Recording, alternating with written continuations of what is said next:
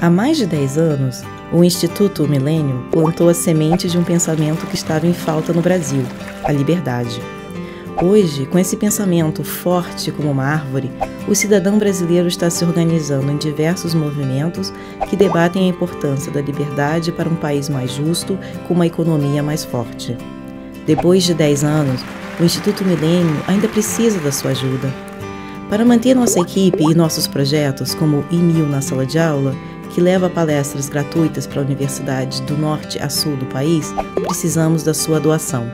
Se é de grão em grão que a galinha enche o papo, é de iniciativa em iniciativa que você muda o Brasil para melhor. Doe qualquer valor em nosso site e seja um defensor da liberdade, da democracia, do Estado de Direito e da economia de mercado. Junte-se a nós.